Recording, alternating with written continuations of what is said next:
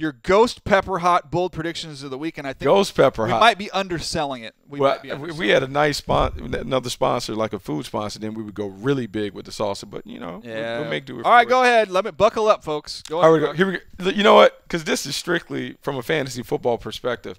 How about Adrian Peterson goes for 100 yards in his debut for the Cardinals? Come on, Buck. Come on, 100 yards.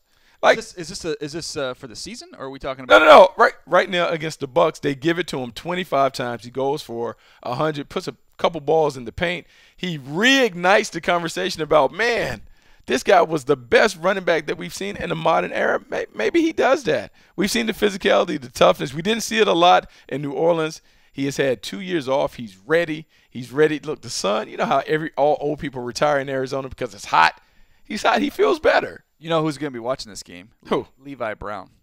Remember back in the day, there was a there was a, a disagreement inside that building. Some folks wanted to take Adrian Peterson with the Cardinals. Other folks wanted to take Levi Brown, offensive tackle out of Penn State.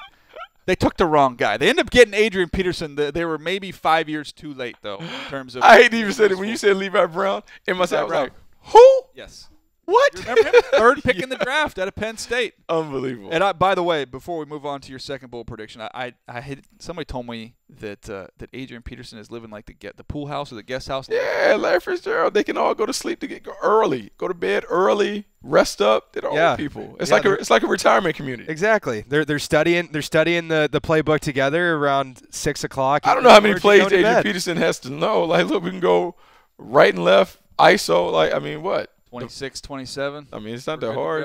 Little, uh, Even numbers right, odd numbers to the left.